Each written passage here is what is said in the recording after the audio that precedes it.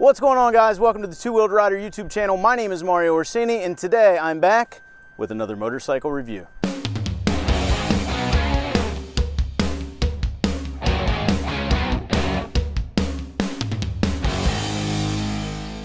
So today I have a 2019 Ninja 400 ABS model, courtesy of the good folks over at JT Motorsports, located in Frederick, Maryland. Right now they're off Urbana Pike, but they're soon going to be moving over off of Tilco Drive. Uh, it's a lot nicer facility, so depending on when you're watching this, be sure to check their website before going over to visit them. So as I do with all my motorcycle reviews, we're gonna start out with the specs of the bike. Then we're gonna run through all the features where I show you how things work on them. We're gonna go out and test it on the road and I'm going to give you my final thoughts and then we'll come back here to wrap up the review.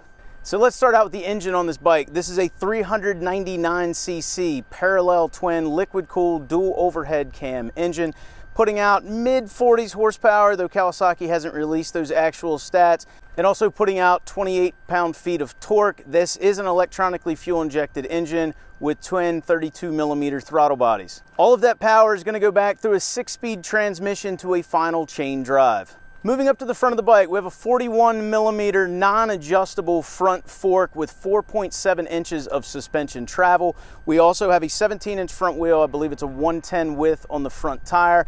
And then we have a single disc twin piston caliper on the front. And again, it is ABS front and rear on this motorcycle. Moving to the rear of the bike, we have a monoshock. There is preload adjustability, 5.1 inches of travel. We also have a single disc on the back. I believe it's 300 20 millimeter with a twin piston caliper and yes once again ABS and then we have a 17 inch wheel on the back with a 150 60 17 tire. The bike comes from the factory with Dunlop Sportmax tires front and rear. Let me hit up a few more of the specs and then we'll move on to the features so this has a relatively low seat height coming in at 30.9 inches. I am 5 foot 10 with a 32 inch inseam. I've got all kinds of room to get my feet flat with a nice bend in my knee. You've got 5.5 inches of ground clearance with a 3.7 gallon fuel tank. The wet weight of this bike comes in at 366 pounds full of fuel. It's about five pounds heavier than the non-ABS model. And it comes with a 12 month warranty, one year warranty, but through Kawasaki, if you want, you can extend it out to 24, 36, or 48 months. One last thing I want to touch on is the maintenance schedule on this bike. After the 600 mile break-in, basically you're doing oil changes at 7,500 miles, and then you're doing your major service at a right around 15,000 miles where you're going to do the valve checks and things of that nature. So not a whole lot of maintenance to be done on this bike. You've got some pretty good intervals. Now that we've gone over the specs, now we're going to move on to some of the features. I'm going to break them down for you and you know show you how this thing works.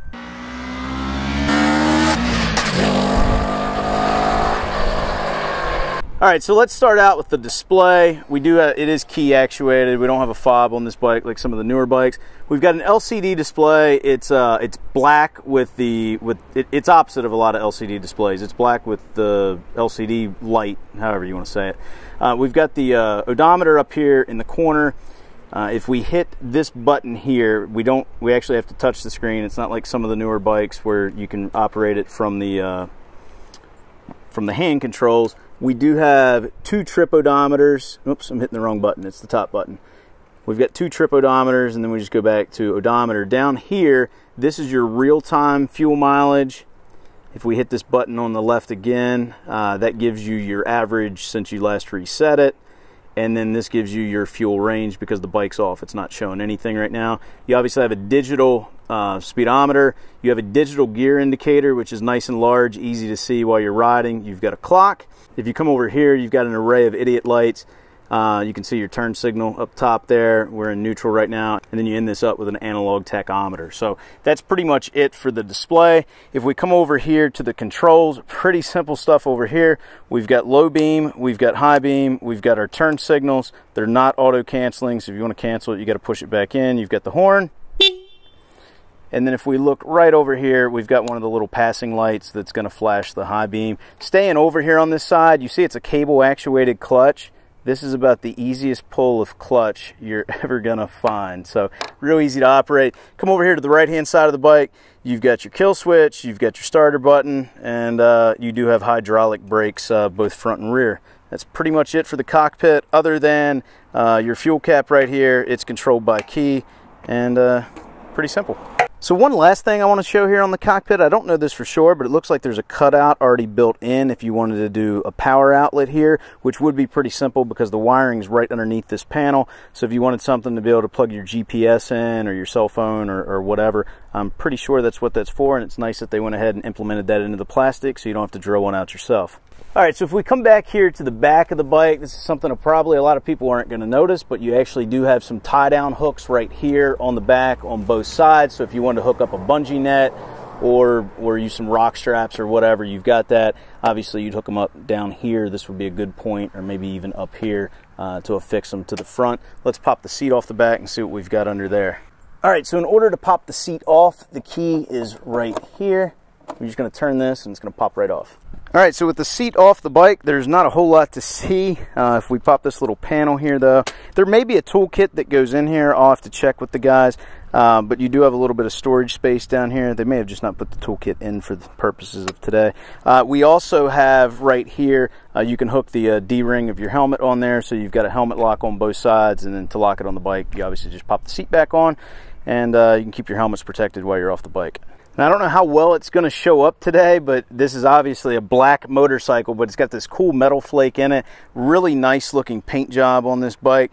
I did show it does have passenger pegs. We're probably not going to test a passenger out on the bike today, but we'll see. We'll give a look back here of what the uh, rear tail light section or rear, rear tail section looks like on the bike. Let me go ahead and get it kicked on so hopefully you can see the lights a little bit. You can see we've got an LED tail light. These are not LED turn signals. And if we come up here to the front, we can also see we have an LED headlight, but again, we do not have LED turn signals. Just one other thing I want to mention, you do have a spot here from the factory already welded on. You can spin your spools in if you want to use a rear wheel stand on it.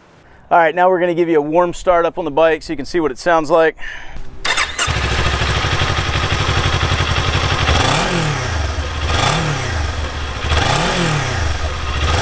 Sounds about like a sewing machine, nothing real loud.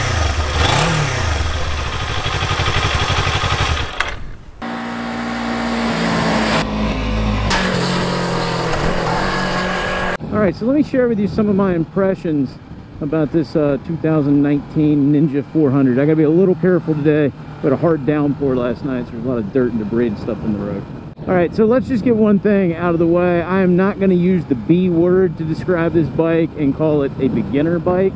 I'm going to be nice, and we're going to refer to it as a small displacement sport bike, because that's what it is. Could a beginner start on this? Yeah, sure, but uh, an expert level rider can also have a ton of fun on a small displacement sport bike, especially one like this.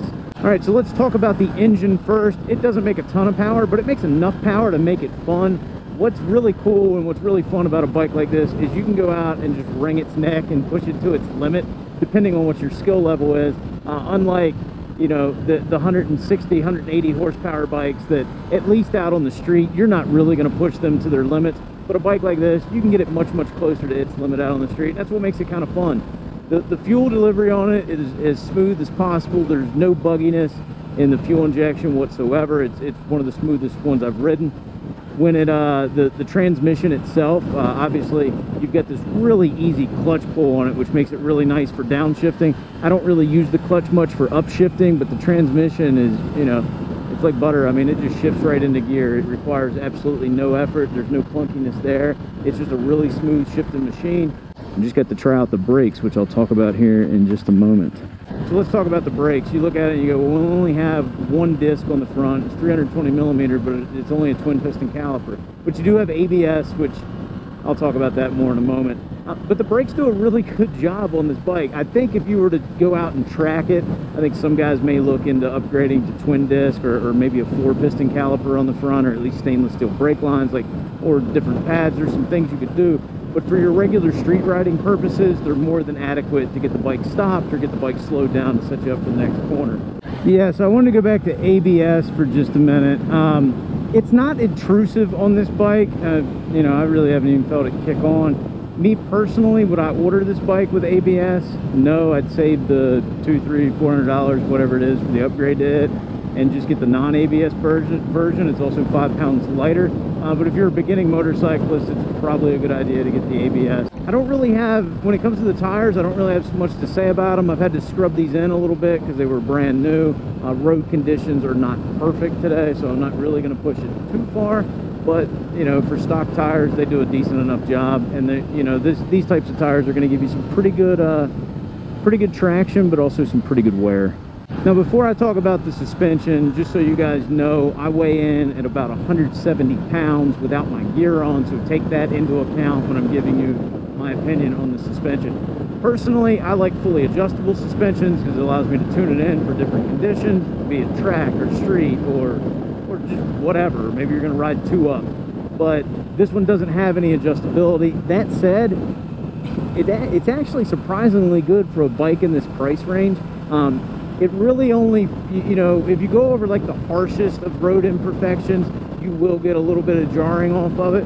But otherwise, it's supple enough, though, if you come down on the brakes hard to set up for a corner, it's not too soft. They've sprung this thing right, at least for me, for someone around my weight. If you're heavier, you know, your mileage may vary. If you're lighter, you may not like it as much. But if you're around 170 pounds and you're just going to go out and run some country back roads, I think you're going to find the suspension pretty good. And also I had it out on the interstate.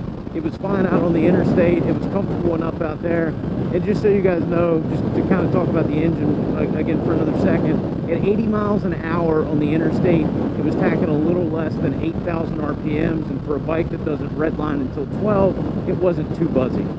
When it comes to the bike's handling, it's pretty neutral, although tip in, it tips in a little bit quicker than than a lot of bikes I've ridden, and then it then it just becomes kind of linear at that point where it's it's really predictable. But initial tip in's a little quick on it, and then it's then it's a pretty neutral handling bike. You know, it doesn't have all the new rider aids and all the cool stuff, uh, the semi-active suspension and stuff like some other bikes I've ridden. It's just a simple suspension system, but it works really well. So now that I'm stuck behind this truck for a second, let's talk about ergos. Um, they're surprisingly good. Uh, is this a bike you're going to cross country trip on? For most people, probably not. But the ergos are actually pretty comfortable. I don't really have any real pressure on my wrist. I don't have any pressure on my lower back. The seat is a sport bike seat, but it's one that's shaped pretty well. I even though, you know, this isn't a very big bike and it doesn't have a very uh, tall seat height on it, I don't really feel like my legs are cramped up. Keep in mind, I'm 5'10", 32 inch inseam, so it might be different for you, but it's actually pretty comfortable. About the only thing, and, and even the windshield out on the interstate does a pretty good job of getting the wind to your chest to uh, to take a little bit of pressure off your lower back because you are leaned over a little bit. The only negative I've noticed on an ergo wise is under hard braking. Uh, you know, I try to squeeze the tank with my legs, but it's a lot of painted area here, and the way the seat shaped, it seems to want to jam my, uh, we'll just say my groin into the tank. Uh, so probably one thing I would do to the bike is get some sort of tank pads for the side of it to provide me with a little bit more grip so, uh, you know, I'm not sliding into the tank under hard braking. Otherwise, it's just, it's surprisingly comfortable. It really is to be such a small motorcycle and still give you decent enough leg room and you don't feel like you're cramped up on it. So I've kind of gone over, you know, how the transmission shifts and the brakes, how well they work, and the suspension and the handling and, and the ergos and stuff. Um, I'll touch on the dash for a second. It's very simple to read. There's nothing, you know, fancy about it, but it does its job and it's got everything on there you need. It might just be missing a thing or two that you might want. And that theme kind of goes on for the whole bike. Obviously, this bike was built at a specific price point. Um, you know, depending on which model you get, they start out right around $5,000, which is a pretty fair price for a brand new motorcycle. But what they've done that I like is, yes, there's some things you don't have. You don't have adjustable suspension. You don't have the latest TFT display. Um, you know, there's some other features that you don't have, like electronically adjustable suspension and all this stuff that comes with more high-end motorcycles. They may not have given you every single option, but what they did give you is good stuff. And, you know, everything on here is pretty quality. The fit and finish is great. It's right up there with the other Japanese bikes. Um, it's a, it's a well-built motorcycle, and to me, it's a cool-looking motorcycle. One thing Kawasaki's done that I really like is the styling on this bike. You know, it used to be small displacement sport bikes. They kind of look like girl bikes, and everybody knew it. You could just tell from the styling, where now, you've got the same aggressive styling, that the 600, the 650, the 1000, you know, the larger displacement bikes have.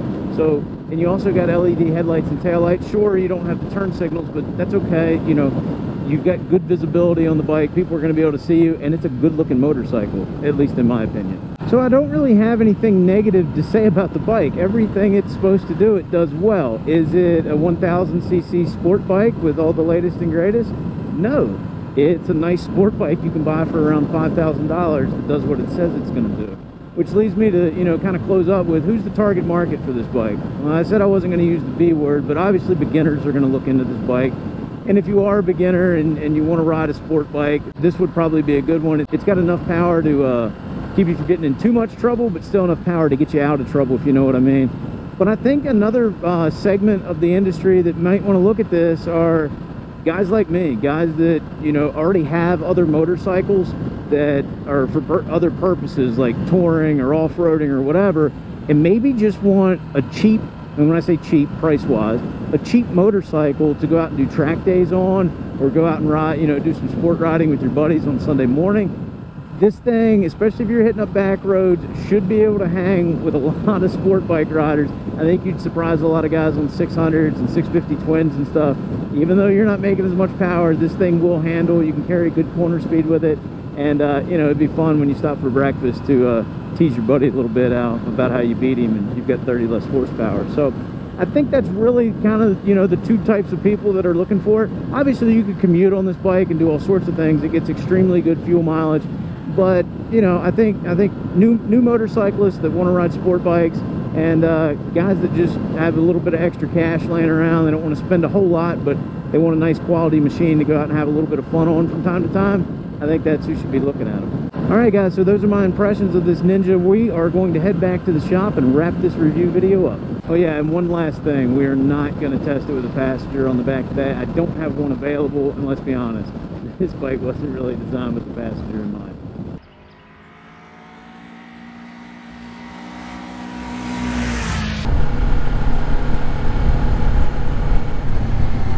All right, guys, so those are my thoughts on the 2019 Ninja 400 ABS. But as always, you don't have to take my word for it, and that's why I suggest you go ride one yourself if you're interested in this bike.